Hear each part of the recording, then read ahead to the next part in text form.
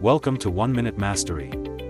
In Step 2, Strategy Formulation and Strategic Management, we focus inward, assessing our organization's inner workings. We meticulously evaluate our strengths, weaknesses, resources, and capabilities while setting SMART goals, specific, measurable, achievable, relevant, time-bound, to guide our strategies. We use a systematic SWOT analysis to assess internal strengths and weaknesses and external opportunities and threats, shaping our strategic choices. Step 2 concludes with a comprehensive strategic plan detailing precisely how we'll achieve our SMART goals, including actions, timelines, and responsibilities.